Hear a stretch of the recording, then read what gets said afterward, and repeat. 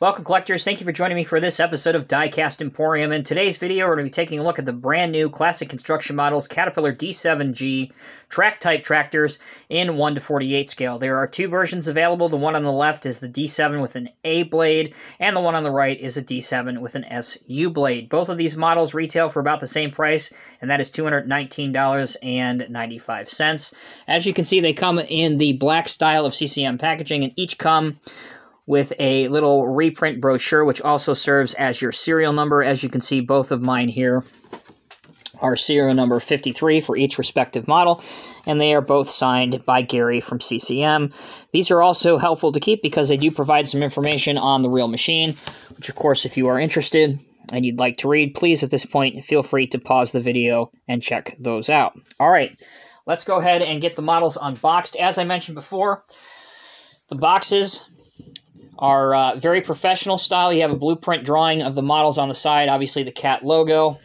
CAT D7G tractor with SU blade, 148 scale. D7 track type tractor with A blade. The side, again, just has 148 precision die cast scale model. The bottom has all of your trademark information. And the way to unbox this style model, if you've never opened a CCM piece, there's two sticker tabs here. You just pull those off like this and then you can open up the model. And inside, you'll find two pieces of styrofoam, which again, you can just remove. And your dozer will be nicely cozy inside. So just pull the paper apart and very carefully take the model out. So, there's the D7 with the SU blade and the Ripper. What I'm going to do now, we'll take a very quick break. Allow me to get the other dozer outside of the box. We're not going to waste too much time watching me do that. When we come back, we'll have both models out here on the review table, and we'll take a closer look at them. Don't go anywhere. We'll be right back after this short break. All right, folks, thank you so much for sticking with me. Welcome back.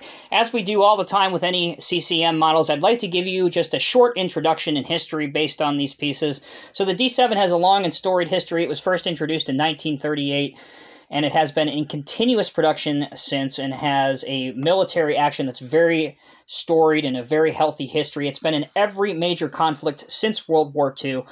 The newest CAT D7, the CAT D7E, features CAT's intuitive electric drive system. The D7E, these right here, uh, or excuse me, the D7G rather, getting ahead of myself. These were originally released in 1974, and they came equipped with a CAT 3306 turbocharged diesel engine, putting out 200 horsepower. These workhorses are still seen on some job sites today throughout the country and indeed throughout the world. So, two very different models here in 148 scale. As I mentioned before, there are 500 pieces of each of these, or there are 500 of these and 500 of these. I mentioned already that we have serial number 55 for both of these. Uh, the first one that we'll take a look at is the A blade version or the angle blade version. In my opinion, I think this is probably my favorite of the two, just because it has the logging sweeps configuration. It has a winch on the back, as you can see here, and obviously it has the aforementioned angle blade. Now, unlike the D8s that we saw recently, the way that you do the angle blade here is a little bit different. It actually has an already inserted pin, and as you can see, these three predetermined holes are where you would insert the, the pin. So let's take the other side out, just like that. As you can see, our blade is kind of just dangling right now, but that's okay.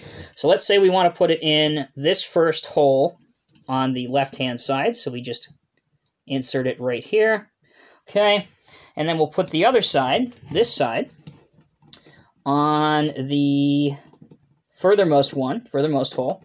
And there you go. So now the blade is angled fully to the right. The system works well. They stay in. And I think it's works a lot more effectively than those oversized and kind of um, flimsy pins that we saw before. I'm a huge proponent of this system, and for few, uh, further releases of dozers that feature A blades, this is what I would like to see moving forward. All right, so also the blade does raise and lower, and I can show you that as well. So here's it fully raised, and we'll go ahead and put it down all the way. As you can see, it does go below the dozer, so you can lift the machine slightly off the ground. Okay, as for some of the minute details that you'll notice on both of these D7s, and that is the exposed engine detail you can see straight through. Looking here, the uh, radiator grill or the engine inlet is drilled into, but it's not drilled through. Uh, as you can see, there's the CAT logo. You have your exhaust, your air cleaner, your operator's control station up here with your gears and levers, your seat as well. And obviously you have your ROPS protection structure up here. Underneath of the tractor, you can see the metal tracks which will roll. There's the CCM logo and that the serial number underneath is 053. If you want to move the tracks, you can do it by hand as they are tensioned and spring-loaded. There you go. Okay, let's move on to the SU blade version. There are some notable differences, obviously, with not only the blade, but the fact that this has a three-shanked ripper on it. You can raise this up to there, and you can also lower it to here without forcing things. Again, I never like to force any things on CCM models, so always take this with a grain of salt. I'm not saying this is the full extent of the range of motion, but this is really the full extent without forcing anything. Also, there is a good look at the cylinder protection uh, jackets, if you want to call it that, or at least the, prote the protection feature that's on the Rams, which I really like. You don't see that too much on dozers anymore.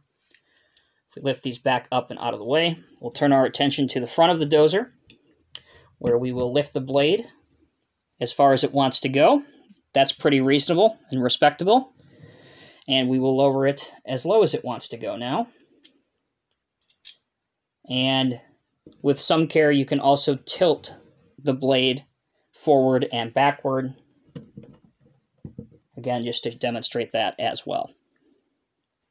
So there you have it, collectors. A very quick review and recap of the brand new CCM Cat D7Gs in 1 to 48 scale.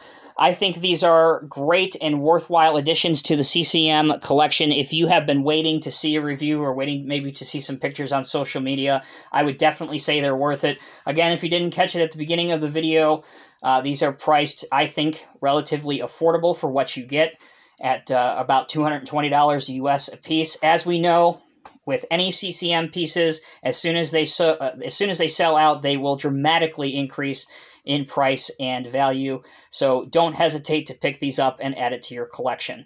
As always, I'm Tommy with Diecast Emporium. Thank you all so much for watching. If you guys have any comments or questions, please leave them down in the comment section below. Until next time, take care, be safe. I'll see you in the next review.